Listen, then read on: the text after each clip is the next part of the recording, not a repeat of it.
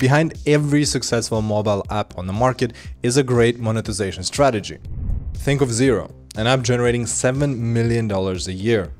Breeze, generating over 10 million a year or Blinkist, bringing in $24 million a year. But what do every single one of them have in common? Well, that is their amazing paywalls. A paywall is one of the most effective strategies to monetize your mobile apps. Paywalls allow you to offer premium content or features to your users for a payment. They act as a barrier to lock certain features or functionality down until the user signs up or activates a free trial. And the apps that I mentioned at the beginning of the video have this strategy on lockdown. They're constantly split testing, iterating, and making changes to their paywalls, all backed by data. Because it's not uncommon for improvements to your paywall to increase your app's revenue by 50 to 200%. That's why the tool we're gonna take a look at in this video is very special, as it allows you to build and test your paywalls quickly without having to to publish updates to your app. The Superwall, you can build out highly converting paywalls and ship to your app within minutes, all without writing code. They've got an easy to use drag and drop builder, which you can use to build out your paywalls exactly as you want them to look. Over a hundred highly converting templates to choose from if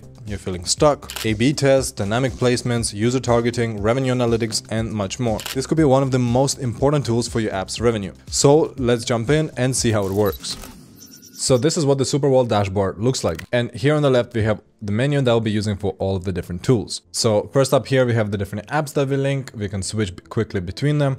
And right after that, we'll have the quick start section. Here we have the steps that show exactly how we get started the Superwall and configure it with our app.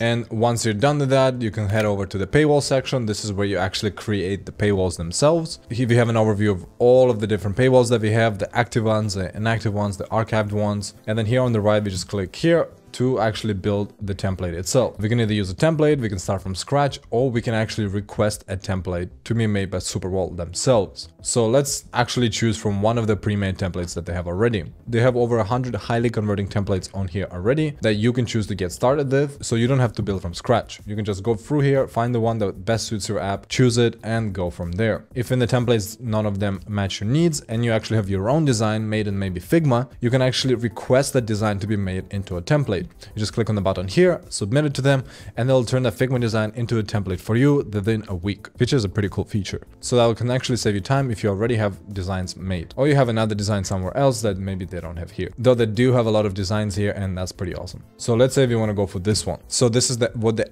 actual editor for the paywalls looks like. Here we'll see the overview of the paywall and the builder itself. We can navigate for all of the different sections here, arrange them in the way that we want by just drag and dropping them and edit whatever that we want. So we can click on the specific text bits and actually edit them here on the right. We can edit the colors, the fonts, the spacing, everything that we need to make it look exactly how we want. I don't have a product linked to within Superwall right now, so that's why you're seeing some of the section display like this.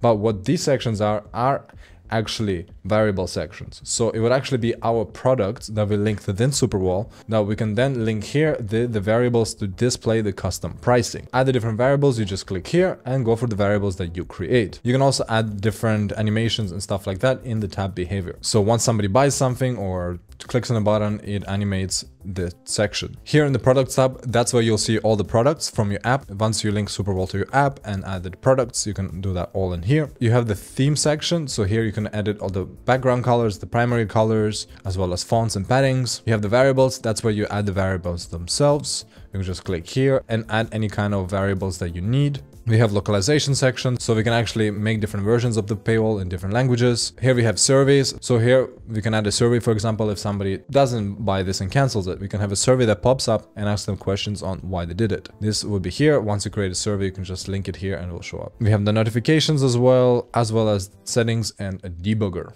And once you're actually done with your paywall, you finish building it out, you can click on preview here and it will give you a QR code that you can scan on your phone so you can see exactly what it looks like on an actual physical device. So to show the actual paywalls, we'll be using campaigns. In the campaign tab, we see overview of all our campaigns and we can create new ones by clicking here. And that's what the campaign creation itself looks like. So the campaigns work by having by combining placements and audiences. We can define different placements. So they already have a lot of ones that are pre-made here, but you can also make ones yourself. But just for the, this sake, I'm just gonna select this random one and add it here. You can add multiple placements as well, so you can have the same paywalls for different placements. And here to make sure that our paywalls display only for the specific kind of users, we can create custom audiences. This is what the audience tab looks like. You can actually add a new one. So let's say you add a new audience, you can rename it here and then go through all of the different points here to create your audience. You can choose from here, from some of the ones they have pre-made here, or if you wanted to, you can actually make your own one just by start typing and you can make your own filter. Um, you can also add limits, so how often they'll see those paywalls, and then once you have all that done, it will actually show you a preview of active users that fulfill those filters limitations. And here, once we create our audience, we can add a paywall here. You can add multiple paywalls, and you can actually segment what percentage of the users each paywall will receive. So let's say we just want to A-B test. So we're going to send 50% here and then 50% here. So as you can see, it's super easy to just set up quick split tests. In the results tab, we'll actually see the results. So the overview of the different audiences, as well as the different users. We'll also see transactions. Here we'll display all of the data, all of the transactions, and we can see exactly where it came from, as well as the different matches of the audience. We also have the charts tab. Here, of course, it will show all the data. I don't have anything linked in here, so I can't really show you the data right now. But there's a lot of options here to break down the data to see exactly what you want. You can display by different events, event ratios, user ratios. You can also set up different breakdowns by paywalls, campaigns, transactions, devices, and as well as different filters. Uh, that's pretty much it for the key features. This is the key things that you'll be using, which will be the paywalls and the campaigns. So you'll be using those two tabs to set up your different testings and setting up different paywalls. But there's some other additional tabs that you can find useful, like products tab, where you can set up all of the different products for your app. So let's say we have a one week free trial, you can set that up. Here we also have the, that tab for the surveys that we saw in the paywalls before. We have the users tab, so we can see all of the different users and actually filter by the different placements localization as well as docs. They have a very well laid out docs tab where you can actually see all of the documentation for the things that you want to set up. But if you ever feel stuck, you feel like you're out of ideas, you're not sure what to do for your paywall, you can actually head to their inspiration tab. And here they have compiled a list of 8,763 different paywalls that you can use to find the one that might be suitable best for your app. If you know any specific apps that you actually would like to see, you can search them up here. For example, let's say Playability you can actually see exactly what they are doing. And actually kind of cool, they also show you the data of how much they're making of their paywalls, as well as all of the different apps that are in that niche as well. So that can actually help you find inspiration from other apps that you might have not seen before.